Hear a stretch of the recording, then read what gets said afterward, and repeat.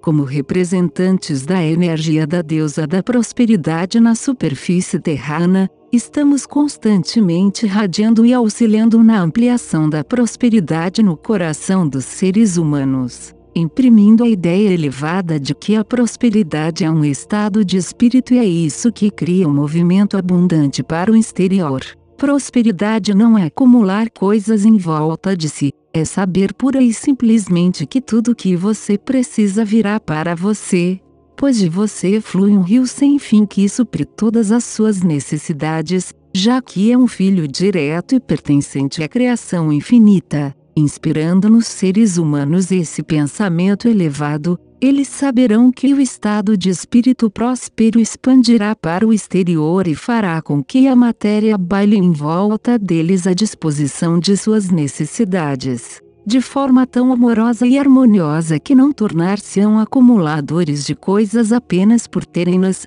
mas aqueles que fazem a prosperidade girar de forma suave e harmônica, simplesmente porque ela faz parte de você. Você usufruirá das coisas materiais sem apego a elas, sem necessidade alguma de acumulá-las, uma vez que você já tomou consciência de que a abundância sem fim dos céus é a sua essência primordial. A matéria simplesmente orbitará ao seu redor, pois você é um grande sol que irradia a magia magnética da prosperidade. Gabriel RL na irradiação da deusa da prosperidade.